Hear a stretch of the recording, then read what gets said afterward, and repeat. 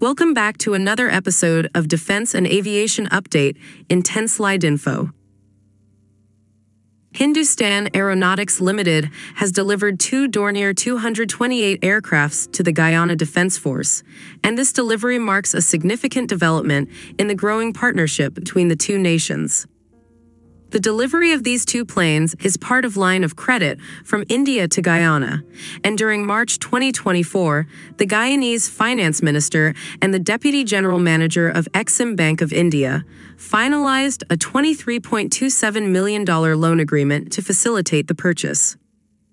Two Boeing C 17 Globemaster military transport plans of the Indian Air Force helped in delivering these two Dornier 228 aircrafts, and the delivery happened at Cheddi Jagan International Airport in Guyana.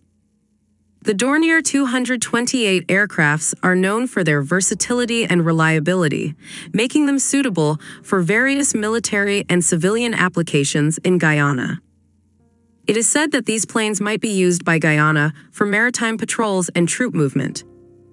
This delivery follows Guyana's president expressing interest in acquiring these aircraft during a visit to a HAL facility in India. So, that was a small video to provide an update on the successful delivery of two Dornier 228 planes by India to Guyana. Thanks for watching. Stay tuned to 10 Info for more such updates and analysis on defense and aviation. Thank you.